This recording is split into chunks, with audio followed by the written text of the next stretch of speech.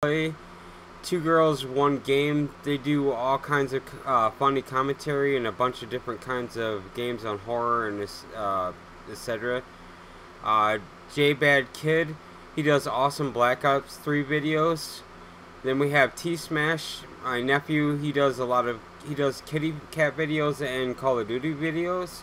And last and not least, a uh, little Polish girl. She does Black Ops 3 and kitty cat videos. Um, the links to all these people will be down in the description. And thanks for watching my video. If you like, please give a thumbs up.